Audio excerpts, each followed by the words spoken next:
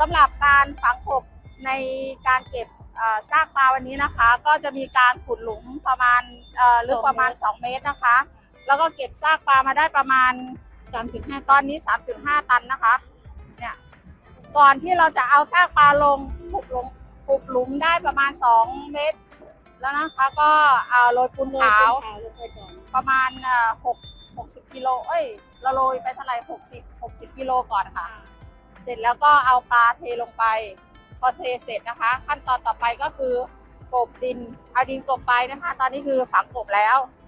ขั้นตอนสุดท้ายคือโรยปูนขาวปิดเพื่อกันเชื้อโรคอีกทีนึงค่ะทำไมถึงเลือกพื้นที่ตรงนี้บริเวณนี้คะก็เป็นอ่าเป็นสวนอ่าในคสวาวมนรับผิดชอบในความรับผิดชอบของเขตราชเทวีค่ะสวนราชเทวีพิรมวันนี้กี่เที่ยวแล้วคะที่ว่าน้ำปลาที่ว่าอะไรคะหลายเที่ยวมากค่ะ นับไม่ได้ นับไม่ถ้วนเลย ทั้งทางรถตั้งแต่ทางทางเรือ โน้นทั้งมีสองทางทั้งทางรถและทางเรือทางเรือก็ขึ้นตรงริมน้ำนี้นะคะริมตลิ่งตรงนี้ ค่ะค่ะแล้วแล้วจะส่งผลกระทบแบบด้านกลิ่นตรงบริเวณนี้ไหมคะไม่แล้วค่ะเพราะว่าเราเรากบไปแล้วเราเอาปูนขาวโรยอะไรทุกอย่างไปแล้ว ไม่มีกลิ่นตรงนี้เด็ดขาดแน่นอนชัวร์เพราะว่าเราขุดหลุมลึกตั้งสองเมตรกว่าแล้ว หลุมลึก 2 เมตร แล้วก็ความหนาของชั้นดินที่กลบเนี่ยก็คือ 1 เมตรก่อนนะคะ ไม่ใช่แบบว่ากลบบางๆ